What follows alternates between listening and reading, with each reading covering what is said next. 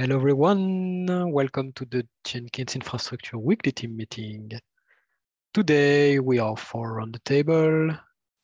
Stéphane Merle, Hervé Lemeur, Mark Waite, and myself, Damien Duportal. Not sure why. Okay, color changes for Hervé. Uh, let's get started with the weekly release. So, Stefan, what's the status since you just checked it?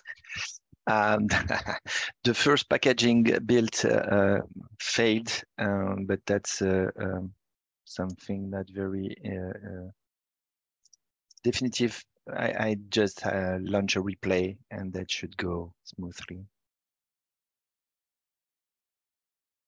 And the, the changelog has not been merged yet.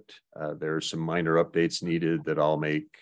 Uh, Kevin's out ill today, so I'll make those changes and merge them after this meeting. Okay. Thank you for the POSIX. I forgot that. Um, Docker image to be built and incoming change log and last checklist item later today. Right. Yeah. And I, in order to keep my focus, I'm going to stay in this meeting focused and we'll actually do the writing after the meeting. Perfect. Uh, do you have other announcement? One, two, three. Okay. So let's get started with the next weekly. That should be 2.402 next week. So the 25 of April, if I'm okay. Yes, 25. Uh, the, the next LTS 387.3, yes, or 4, I don't remember. Yes, scheduled for May 3, releasing May 3, release candidate, uh, 19 April, tomorrow. Uh, backporting has started. Chris Stern is the release lead. Backporting started and Chris Stern is release lead. Cool. Thanks. And Doc's team will write the changelog and upgrade guide. That no need to note that, Damien. It's, Okay. uh, It's Um, I haven't checked the security advisory, but I don't recall having one. We had one no last week. published, no published plan for, no published plan dis- declared yet, so. None. Perfect. Next major event is the CDCon. Is that correct? Since Right, May, is- May eight and nine,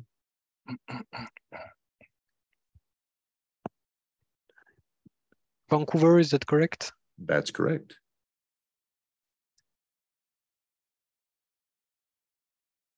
Okay. Other announcement, major issue? Okay, so let's have a quick look on the task that we were able to finish during the, up the past milestone. Uh, we had a plugin in update on CI Jenkins IO to help the core developers around. So that's an update on the code coverage plugin. So done. Thanks, Hervé, for managing the Jenkins release. Uh, Twitter accounts suspension notice. So if I understand correctly, you had to downgrade the plan. Is that correct?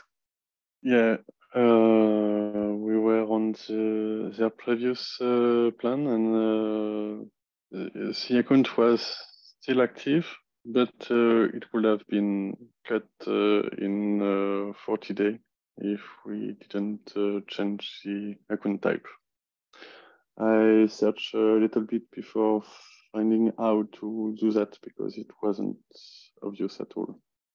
Another great execution from Twitter. Change to avoid suspension. Okay. Um, and we are within their usage in terms of publication numbers. Yeah, it's it's around uh, it's one uh, thousand and five hundred tweets per month uh, allowed with this plan, so we are we're good. Cool. Unless Thanks. we have a lot of developers publishing a lot of plugins. That will be a first world problem then. Cool. Thanks. So no need to remove the RSS to Twitter publication and we can continue. Nice job. Enable renovate for Jenkins infra stories. Okay, that was done a long time ago. Is that correct? It's just it had to be closed. No, it's uh, I mm, I misread the given uh, issue at first. I thought it was for plugin site, but it wasn't uh, NC's GIF because I modified my message. But yeah, the story account, the story repository wasn't in the selected repository of Renovate, so I have added I added it. Cool. Thanks for helping. Uh, thanks, uh, Mark and Hervé, for the move house track I-beams into Jenkins IO repository. I assume We done nothing. It's uh. I don't know how to pronounce his username, but he done uh, he done the work. okay. Nothing else to do on this one. Um, we were able to ensure that Apache logs were collected by Datadog on our machines that was required to measure the amount of data served by CI Jenkins IO, at least. Uh, that means now the update center update log are now streaming inside uh, Datadog if you want to extract some information about the data that is served by update center as well. So the next step is learning on Datadog how to do a dashboard that will measure the amount of data served by Apache. But it's working. Uh, I won't go on details. Uh, there were a lot of tiny hidden changes behind this one. And of course, I broke things that I fixed during the weekend. Uh, jobs with task using Azure Upload are failing. That issue was opened by Alex. Thanks for mentioning that. That's related to uh, Tim and I trying the Azure Artifact Manager. There is an issue uh, a bit later about that topic. So that's why I closed the issue telling that we have to follow back. So let's treat that one as a duplicate. But the takeaway is that some random jobs were failing for the archive artifact steps. So let's say half of the jobs worked as expected, and half of the other failed with a TCP uncheck error inside the build logs. We disabled immediately. Tim has started helping us on that specific area. So it only happened during a time window of 24 hours. That might happen again, but that time we will have to communicate. I thought I sent an email and I realized that my email was blacklisted by Google Groups, even if I'm an admin of the mailing list. Who knows? So next time, I promise I will check that the email is received. Self-improvement. Anyway, next issue, Update Center doesn't build because agent one is offline. Um, let's say we had the SSH key to rotate it and it was, uh, yeah, it was sometime we should have done that the credential name on trusted just for the, the joke the credential name was literally cucumber keys please rotate. So um, i cleaned up the puppet and i removed any mention of non-existing virtual machines. Cucumber was the virtual machine serving jenkins.io website years ago.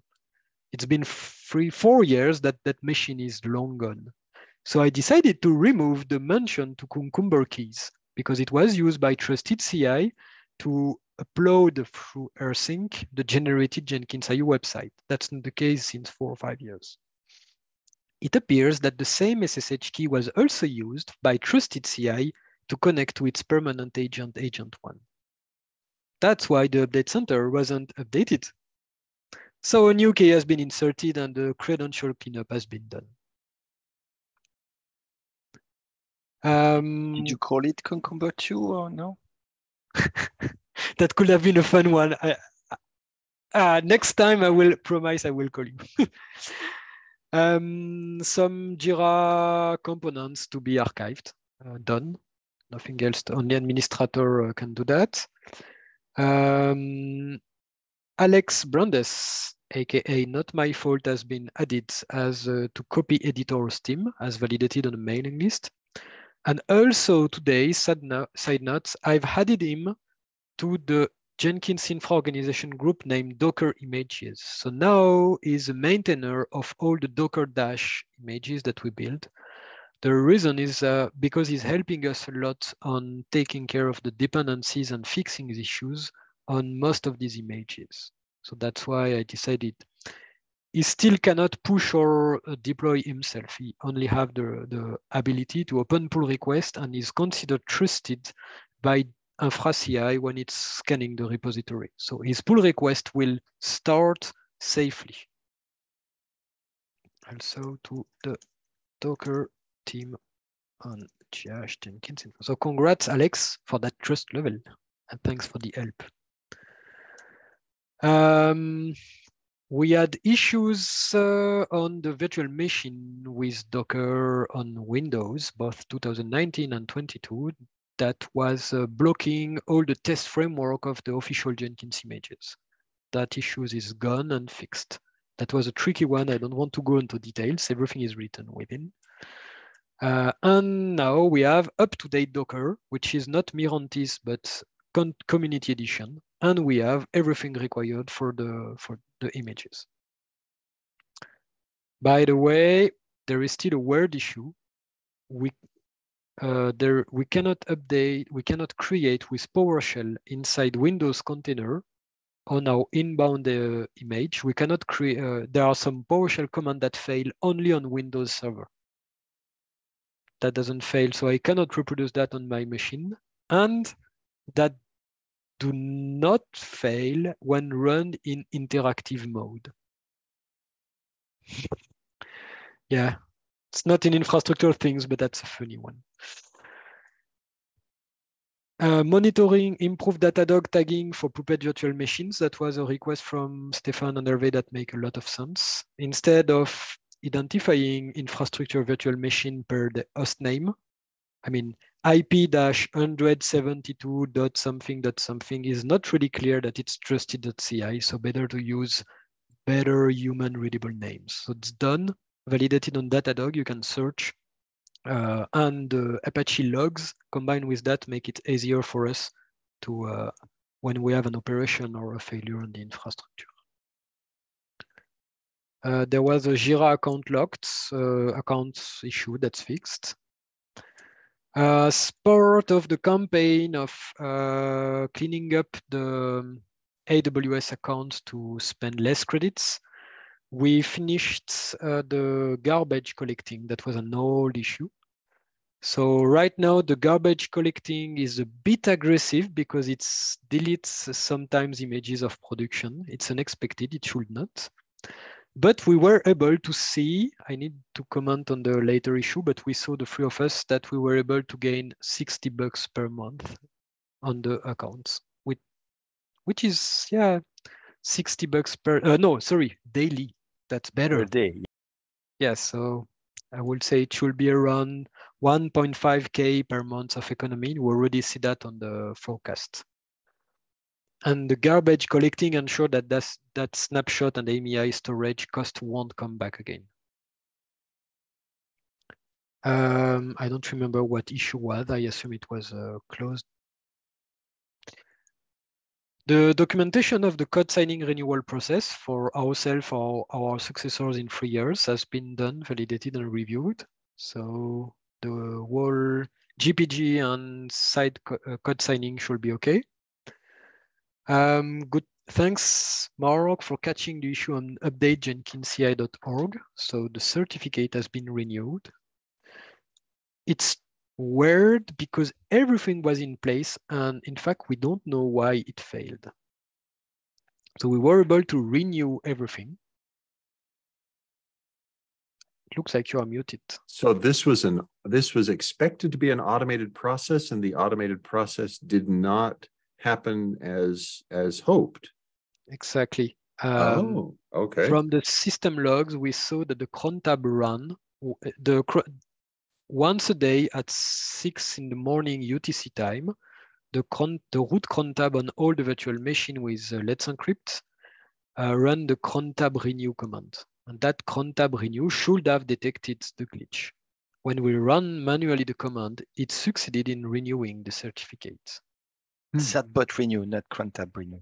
Oh yeah, sorry, Certbot renew, my bad. So, so this this was the SSL certificates. I thought, oh, okay, thanks. I had miss not read this well enough. I thought this was some other certificate used by Jenkins in communicating with or validating content. No, it's not. Oh, Thank you. That's yeah, that's another issue. So we digged a bit, but it sounds like the the Puppet uh, module and the way it's working is not correct. However, we saw there were some uh, leftovers of a former Certbot package that were installing their own cron tab that was running at the same time. So there are users, I've uh, linked the issue, that had the issue and complained about that cron tab that shouldn't be managed if we don't use the native package. My guess is that the two cron tabs were competing because it, I tried cron tab with two user accounts and they were competing with a lock. The thing is, we cannot remove the dash q flag. It's in row inside the Puppet module on the cron tab. That's quite annoying.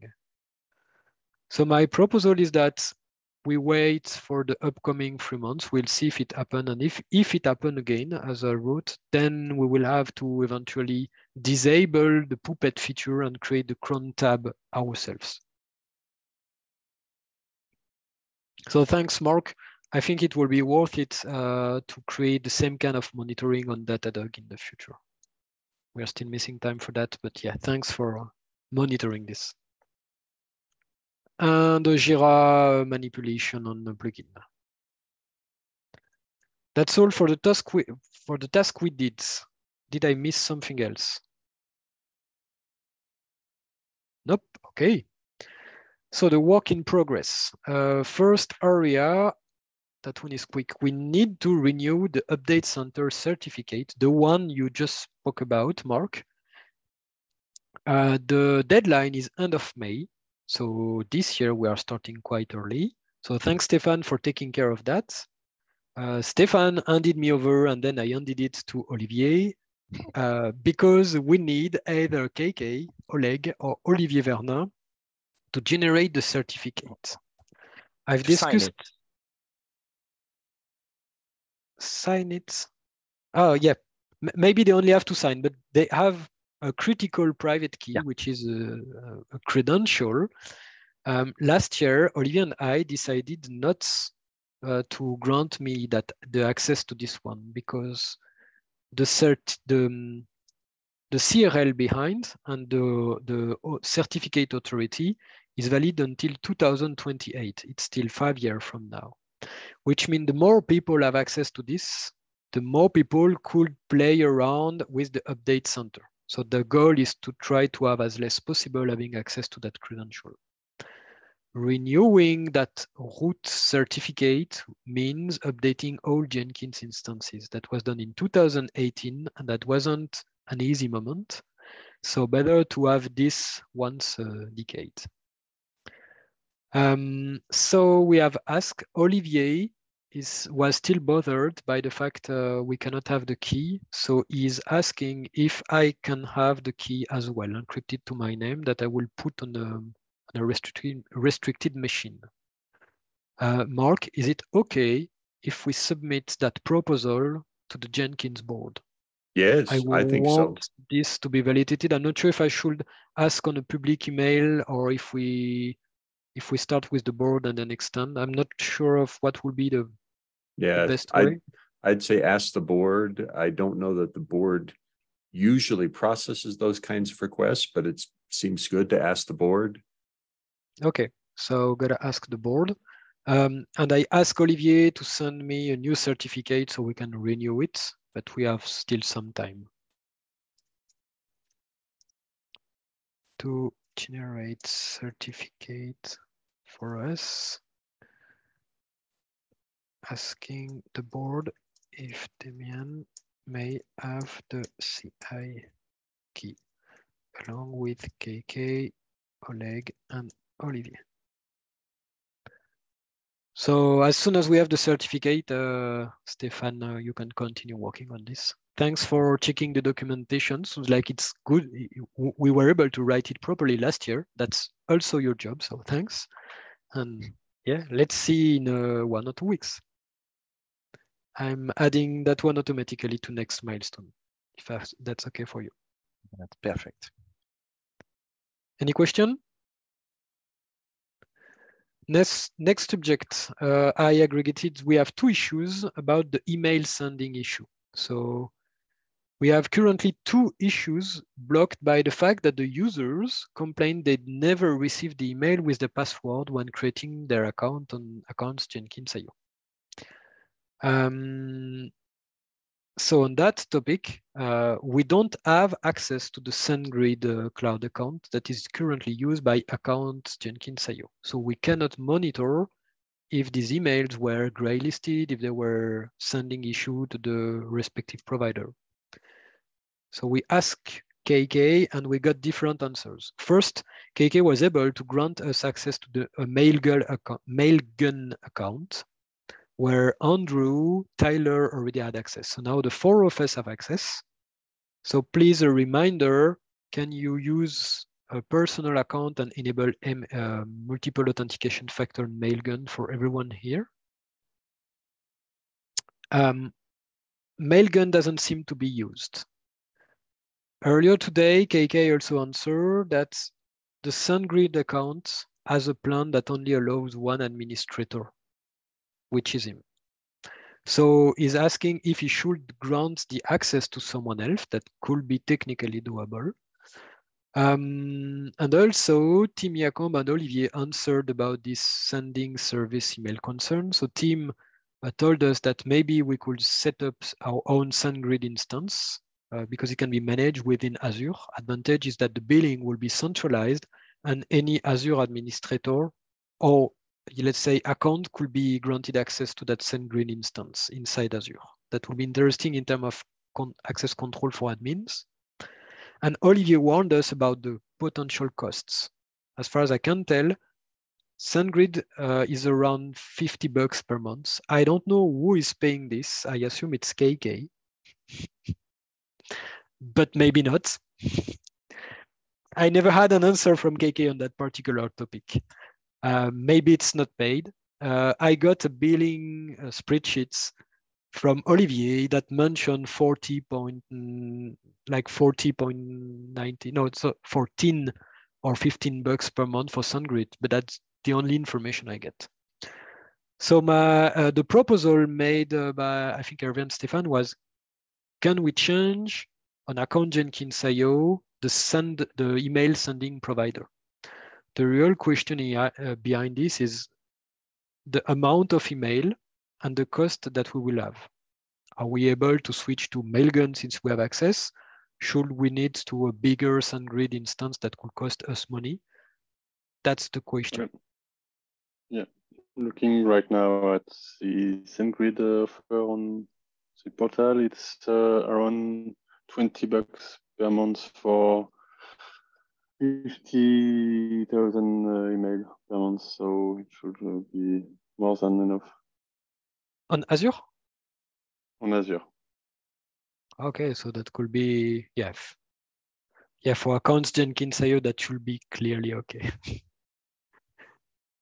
okay. And, uh, and yeah. Yep. And About on Mailgun area, yeah. Sorry, go ahead. Uh, the current SendGrid account, the problem is there is a 2FA on it, and uh, uh, yeah, uh, it's a problem as one phone number has to be dedicated to it. I was thinking maybe we could uh, get a Twilio account for that. I don't And know. who will get the 2FA account for Twilio? Uh, I, I think your prob- y- your the fact that you check the SendGrid uh, on Azure if it's 20 bucks per month, I mean, for that amount of email, that will make that's absolutely an option. It's not costly.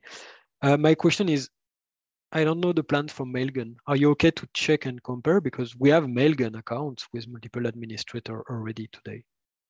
So Yes. why, why not using it if it's if we are in the NDEV free plan? Yeah. If not, let's compare prices and use Azure instead. What do you think? Uh, Mailgun is a paid account or a free account? I don't know. Can I ask you as to- Olivier? Yeah. Yeah, I can check. Uh, when I suggested we could use any free tier of any email provider, as we don't send lots of email, he, Yep. He noted that uh, free accounts are on shared IP and thus uh, with a big risk of blacklisting.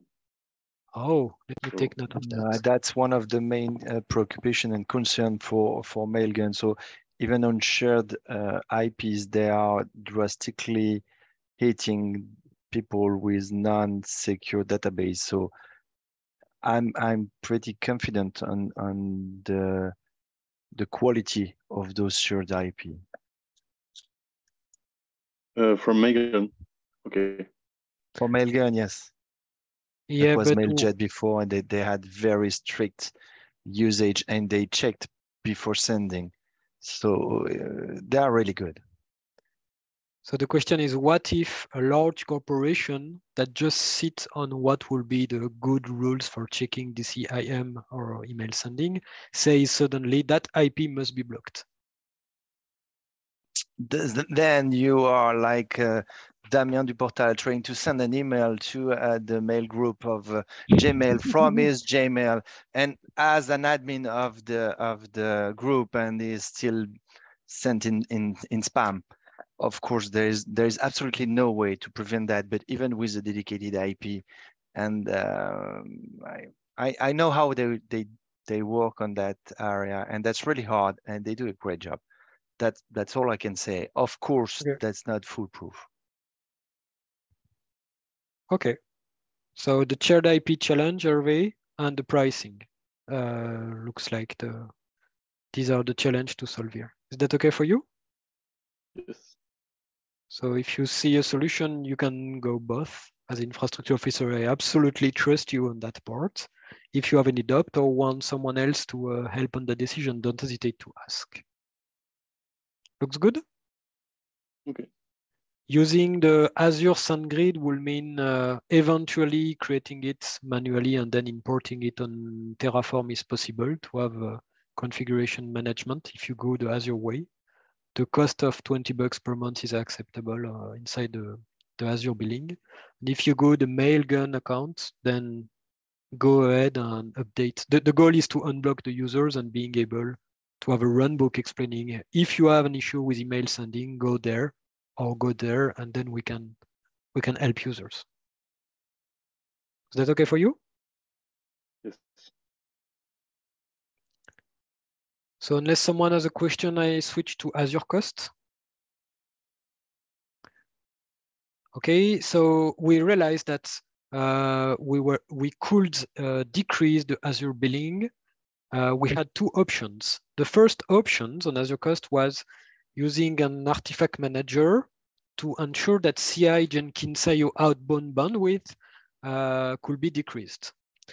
So what has been done? Um, on the BOM builds, uh, Jesse Glick was able to merge a, a proposal where most of the stash and stash steps during the build aren't done anymore.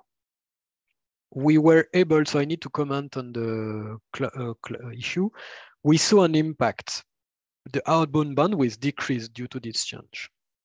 The uh, the forecast showed we were around 600 instead of 1,300 last month.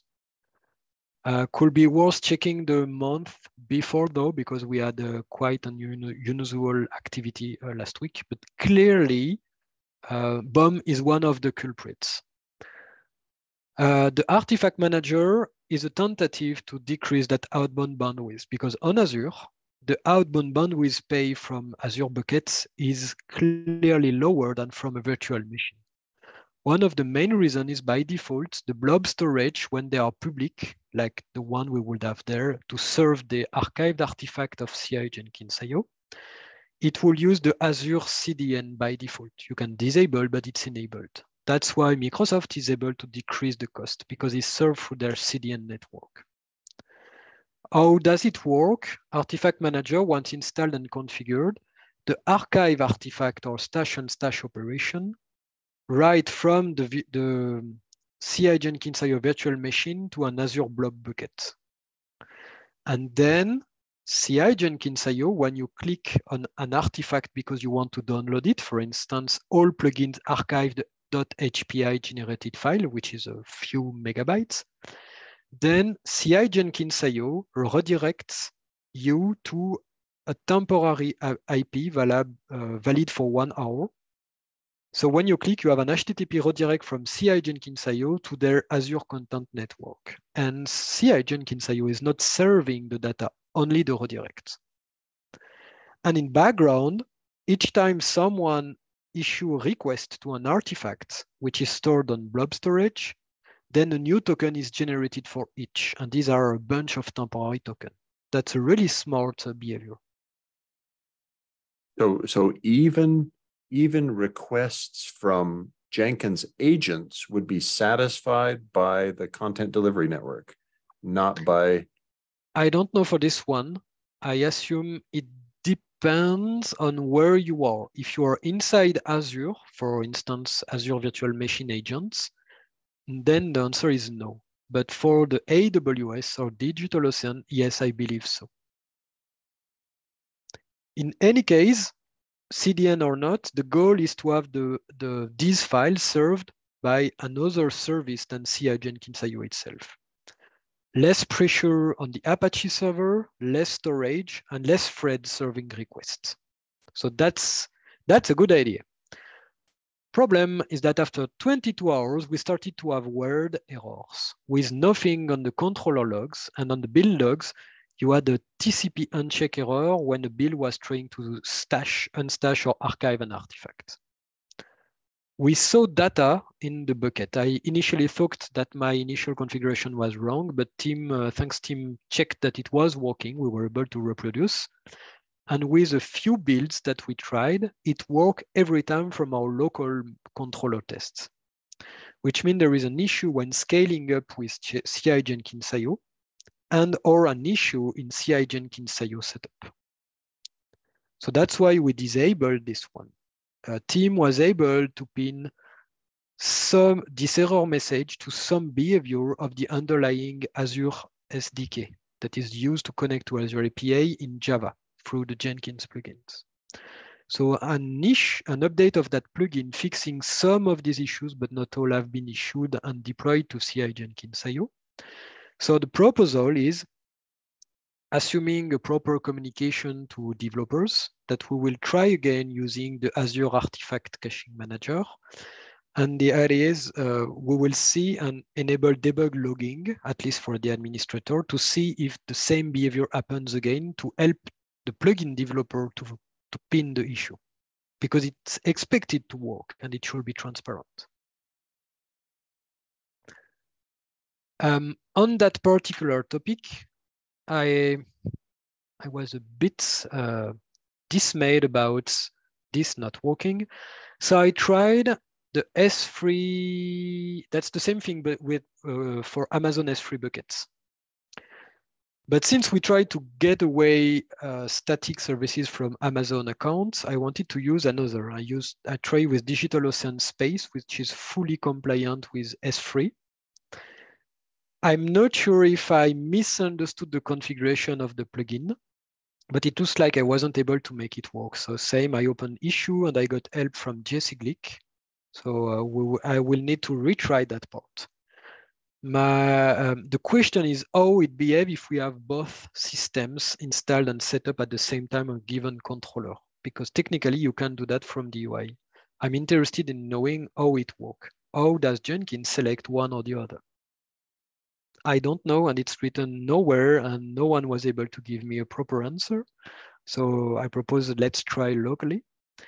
Um, the question I want to raise is maybe in order to keep an equilibrium, if we cannot make the Azure plugin, I want to raise the question of we can still use an S3 bucket That means the artifact will be sent from Azure to Amazon each time. But most of these artifacts are in fact generated by AWS or DigitalOcean agents. So they will be copied from DigitalOcean and Amazon directly on S3. And CI Jenkins IO will only issue a redirect to AWS when someone requests the artifact. So that should still be able to allow us to decrease the bandwidth. That could be a solution. Most of our builds happen in AWS anyway, so that, that's the area where we are. So now the proposal is to start with Azure first time. Is that clear? Does it make sense? And does it trigger question or things or ideas? Okay, so the the amount, the, the magnitude here of data and money we can avoid spending is a bit low, uh, is from 500 to 1000 bucks per month, just to have an order of magnitude. Um, on the other costs, uh, Stefan, can you uh, report what you did around the ARM64 uh, Yeah, I was, I was pretty happy because I managed to have uh, the build from Packer for the Azure ARM64.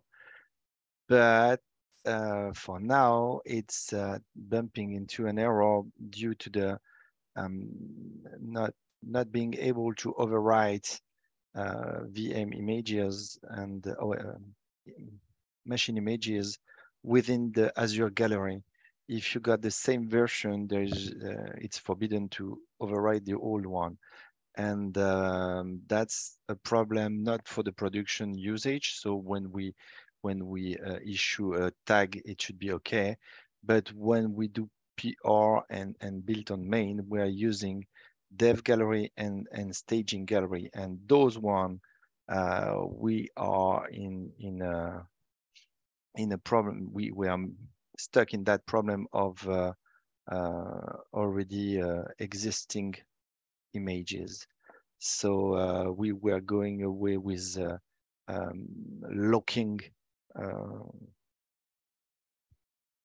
uh, version and and using five only and uh, and then we realized that maybe it would be easier to add a, a time tag or, or an alia tag at the end of the uh, same version. But we need to make sure that we got the garbage collector running smoothly on that because if not we will have tons of uh, images in those gallery so it's working, but kind of useless for now. The next step for us will be to be able to start using uh, infraci.jenkins.io to build our own Docker images on ARM64 or to switch to the all-in-one image and start most of most of our workloads to ARM64. Um, on the Azure costs, spot instant using spot instances. So spot instances, um, we checked um, the price is alas only two times better, which mean if a spot instance is reclaimed, then only one retry remove all the, the benefits. And the non-benefit is developers seeing their build being retried, especially on the ATH. The thing is, in the case of plugins that builds on virtual machine requiring Docker, most of these plugins needs Docker and have, um, yeah, 30 to 60 minute builds. It's not a quick build of Maven clean install, you have an HPA. Most of the integration tests use Docker, hence need virtual machine and could be reclaimed by Spot. Same thing for, for ATH. Some ATH branches are just a few minutes and could be good customer of, of ATH, of a spot instance, but some take six hours. So you don't want a six hour process to be canceled by a spot reclaim. So using spot for the ATH is not a good idea.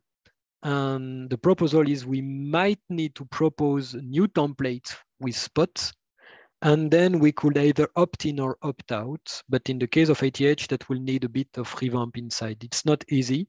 it's not an easy way to gain money. So spot instance for virtual machines uh, in Azure might not be uh, interesting in our, for CI Jenkins IO agents.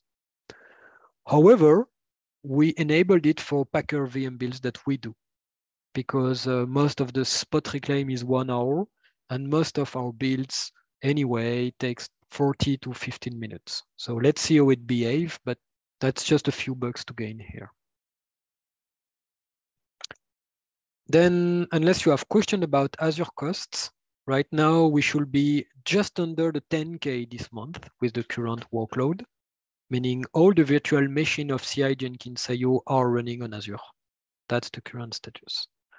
So we should be okay, and then we will need to decrease CI Jenkins IO spendings on Azure. That will be the next step. AWS costs, BOM build, BOM build, BOM build, and trusted CI. Stefan, Yes, what's the status um, of trusted CI migration to Azure? for now, I'm uh, defining the the VM that uh, we need to spawn on uh, Azure for trusted within uh, um, Terraform, and I'm on the on the network side right now. I uh, so I have two PR uh, on two repository uh, because we have Azure and we have Azure Net. So right now I try to have both of them working together with um, creation with, of the network within Azure Net and usage of that uh, network in Azure. But um, yes, it's it's my main task. If the ARM64 leave me alone for a while. Okay, yeah, because it, it, it took my brain way too much. that happened. Um, do you need a review or unblocking on that task on the upcoming days or? Um, I will probably need to uh, to check with you uh, uh, if if I did correctly for the for the mind of of the of the net tomorrow. If you if you're um, available. Okay, should should be doable. Thanks. Um, walked, so we were able to successfully start and run partially a BOM build on a new uh, set of node pool. The assumption is uh, we are able to show that we can decrease the costs of the BOM builds. There are different layers. The layer here is first targeting of not blocking the plugin builds that need container when there is a BOM build or a storm of BOM builds. At least plugin developer will have a shorter feedback loops. Second, see how we could decrease uh, the cost of a given BOM build by packing more agents on bigger machines so the overhead cost less. And also bigger machines helps us to use, uh, let's say, low-cost spot instances. So we have updated the existing um, node pool that BOM and plugins is using on AWS to decrease the cost of a single pod unitarily. That doesn't mean that we'll decrease the cost globally because it depends on other parameters, but still we were able to, to decrease of 20% the cost. And we also changed the spot eviction rate because most of the instance state uh, size we were using had a 10, sometimes 15% eviction rate, which was visible on the BOM builds with a lot of agents, while now we are under 5% for every kind we use. And we added the new BOM builds and there is a lot of learnings on that area. Uh, we are in a loop back. The work that Jesse did to help us on the outbound bandwidth consists in instead of building one time the megawar, stashing it and unstashing it 280 time, which is costly. Now we build it 280 time, but it's available locally.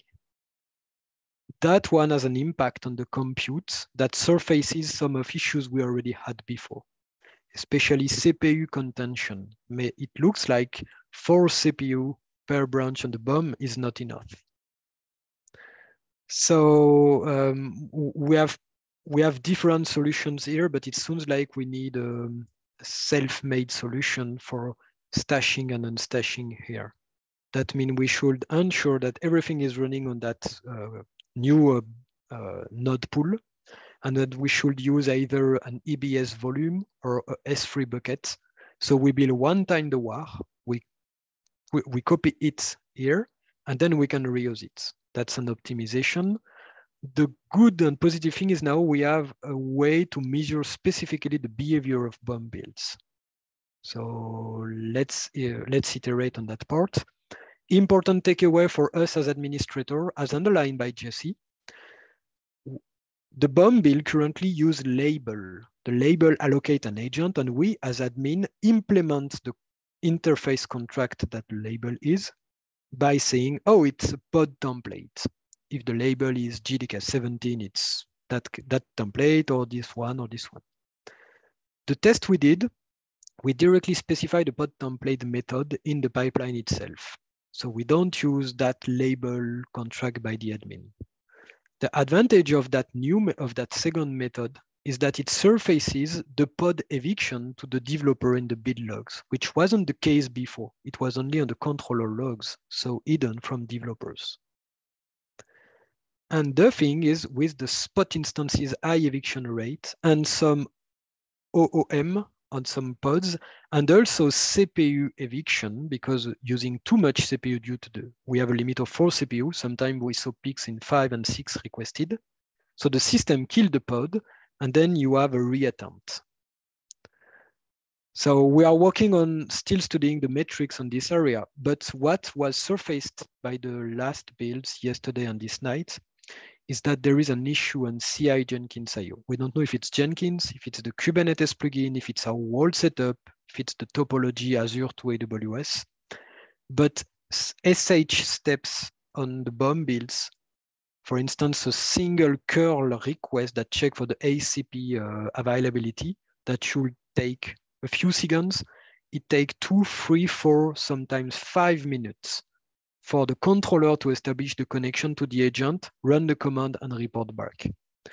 So 10 minutes building the megawar, three to 15 minutes for running all the intermediate steps, and then 15 to 20 minutes of running the PCT. That means each branches of the 280 branches is currently taking 30 to 45 minutes each at the same time. So of course, no improvement in the build time and in the cost. It's even worse. That's the status right now. So that's why we haven't merged or changed anything yet. Um, now on the minor issues, Oh no, so, we have still the artifact caching proxy reliable on that area. Yes, so, uh, Mark. Damien, if you're willing, so Hervé and I were just having a discussion prior to this meeting about BOM cost reductions. I'll be sending an email message proposing to significantly reduce BOM execution costs by changing what we execute when we execute it.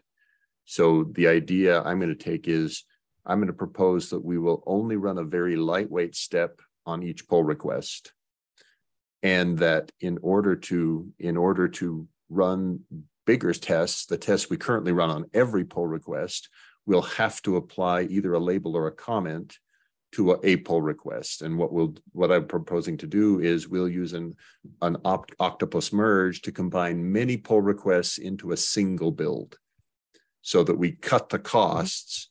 We get yep. the we get the smoke test that happens. It takes from 5 to 20 minutes to run the smoke test and the smoke test tells us important things. But then the proposal will be let's only run the bigger set of tests the ones we run on every pull request now when a developer specifically says and a maintainer of that repository specifically says i want to run it and they'll only do it when they believe it's valuable enough to justify the, the, the spend. Absolutely. That, that's absolutely a good way because it can be done now or later and it doesn't um, it doesn't predate or create any kind of problems yeah. with the other optimization. Right, we they still, are independent. Yep, we, we still need to fix that issue. I mean, mm-hmm. 300 parallel element in the build queue should not take minutes for a Jenkins instance that size. There is something abnormal here but right. still yeah that will uh, that's a really good idea if we are able to to drive this. Thanks, Hervé. Thanks, uh, Mark, for that idea. So now I did realize just as I was describing it, there's an exception case there when a developer wants to evaluate a, mm-hmm. a prototype. They need to be able to, they need to get full execution like a regular pull Yep. request. So I think what we would do is say, if the label has dependencies, only run the small test, only run the smoke test. Yep, and opt in But with a we'll- specific we'll- label. Or yeah, Right, we'll, Yep. we'll discuss that. In, in the, I'll use the developer list, I think, for that discussion. yes. Is that okay for also opening an issue on helpdesk to track the idea? That Oh, yes, if that, yeah, if, if that's okay with you, I'll do that. Uh, that's a better way to do it. That gives us a very solid place to, to track and discuss. Good, I'll yeah, do that. The, the discussion uh, in the mailing list is clearly uh, better, but yeah, putting uh, tracks tracks record for audits uh, Mhm. to serve as support for us is important. Great. Cor- cor- Correct, good idea, and that that's absolutely worth it, folks. Um, hmm. Every uh, so uh, no, sorry. So that's all for the BOM. Uh, we had we weren't able to reproduce ACP issues with artifact caching proxy on DigitalOcean. Only only DigitalOcean for the BOM. I don't speak about ATH in Azure. That's another topic. Um, uh, you had concern about that the recent changes from Jesse weren't absolutely using ACP everywhere. So my test on the BOM separation shows that ACP is used for the megawar generation. However, Mark, we are not sure and we might need, uh, or at least we might need your help understanding each PCT, the PCT.sh step. Once you have the megawar and you run the PCT, it's a jar file that is called with a few parameters in the shell script. And we don't know what that process is doing. Is it calling Maven and building things or is it doing something else? Yeah, Meaning, do we need ACP to be used for the PCT.jar calls? I'll have to, I'll have to look to be sure. I, I confess I don't know. Bum is the that sh in need of uh, for the ATH issue that Basil reported, uh, that's different topic. Mm. That's not the same job, and that's not the same network, that's not the same cloud, and that's not the same error message. In digital ocean, it sounds like that it's when we start having too much DigitalOcean uh, parallel uh, steps, then it's uh, it start we might have a limit in the in the system. In the case of the ATH, that's TCP connection refused. That's absolutely the network. So maybe that could be the Kubernetes cluster with the Azure ICP blocking connection at load balancer level because it reaches a certain amount. But I believe we are still using the old network for CI Jenkins IO and its virtual machine agents, which is overlapped with a bunch of issues. So the proposal on short term, uh, two proposals. First one, we don't need to focus on using uh, ACP for the ATH, at least not for the part mentioned by Basil, because it's partially used. Unless we demonstrate the opposite using the, um, uh, the, the metrics from JFrog. Second is that in the CI Jenkins IO uh, performance tuning that we need to do as soon as possible, migrating the controller and the agent to subnets on, in the new public network built by Hervé will be a solution.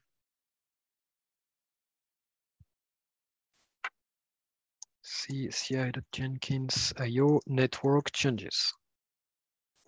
Did I forget something about ACP or Hervé? No, it looks good. Okay. Um, tiny tasks. Make environment and description fields mandatory for bug type issues. I propose to remove that issue from milestone. Alex opened it. Uh, that's worth a discussion with the Jenkins core. I don't feel like it's the Jenkins infrastructure team role. I don't say we close it because still we are Jira administrator and if a decision to change the behavior of this field on Jira is needed, we need an audit track and we need someone to act. We could post uh, a link to the mailing list thread in the help desk issue. Oh, you, do- you've done it. Ye- Okay. Yes, right. So yeah, so I propose to remove from milestone. No objection? No objection. Uh, tiny issue, Puppet agent keeps updating the GPG key. Each time we have a weekly, there is something on the system that writes the value of the new key, the new key file has dash 2023 in its name, to the hold file, while Puppet on the PKG keeps updating it the other way around. So we are spammed by this one. We have to find which part of the weekly process. I was able to pinpoint to the mirror scripts two weeks ago, but it's not the only one doing that. So I misunderstood something or missed something. That's minor, it's just an, an annoyance for us. Um, ARM64 VM agent unavailable, same uh, garbage collection of the Packer AMI is uh, a bit too drastic. So the proposal here should be quick. Before deleting an AMI, let's check the configuration, the public configuration file from CI Jenkins and InfraCI. And if the AMI is within, don't delete it. So that one should be easy to implement. Um, CI Jenkins IO define a default build discarder. I've installed the plugin. I haven't looked yet. I will want to do a, a, a session with you folks because uh, in so we need it. We need to decide and communicate, but also uh, I don't know if you remember the two of you when we checked the details of the um, child orphan policy on the organization scanning on CI IO, which define how much element when a repository or a branch is deleted, how much element or how much time an element should be kept. And I discovered there is something named a build strategy that provide the build rotation logs that we were searching for, which is a bit different than the orphan child. So maybe we could we could have not only this at top level by default, but we could define one policy for each GitHub top level element in CI Jenkins IO. And we missed that one last time. So if it's okay for you, I will want to take 30 minutes because I remember Hervé last week before the Devoxx, you mentioned that a setting like this one that I warned you about not applying, not immediately, Yeah, I and I wanted- propose we do this in group.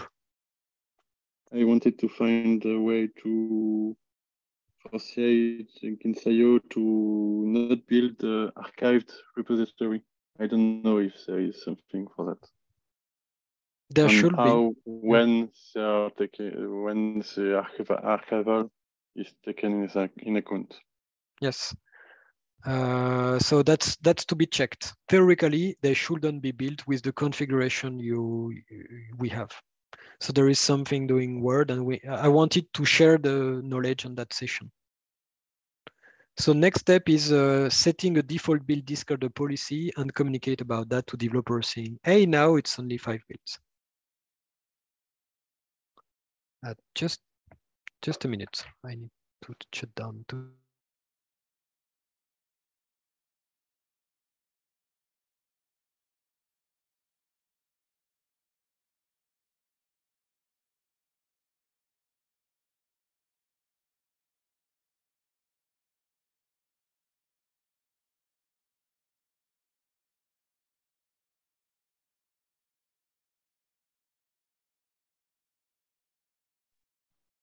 sorry. Um, Hervé, lo add launchable to agents, where The, you first, the, the issue before about uh, Datadog, I haven't had time to Okay. check it. Add launchable to agent, uh, my pull request is ready. The sanity checks are okay.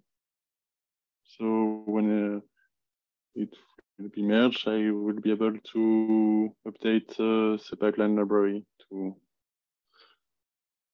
to use the install the launchable or install it if not. good. One last issue is Ubuntu 22 upgrade campaign. Um, I was only able to start a pull request on the Docker OpenVPN image. I haven't checked the result yet. Here open to be checked and deployed.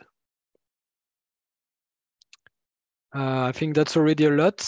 There is an issue incoming for CI Jenkins IO with the following written elements. So summary, so we can close that meeting. Um, we need to change the system disk to an SSD on CI Jenkins IO. Uh, as you told us, Hervé, importing on Terraform could be done uh, one shot. So we should be able to audit and check all the resource settings on the hardware, especially the SSD issue. Then we that should allow us to enable disk snapshots on the Jenkins home, so we could get rid of the job config history. There is the network migration that we mentioned earlier that could help also. Um, related to the Azure part, I've asked Tim Jacomb if uh, we could shrink the amount of Azure virtual uh, uh, machine yeah. templates and another one interesting to share with you, Hervé, because I think you were the first person to ask me about that. Um, I will want to also enable WebSockets. So the agent will communicate to the controller through HTTP and WebSockets, which is way better than the inbound TCP native for resource usage.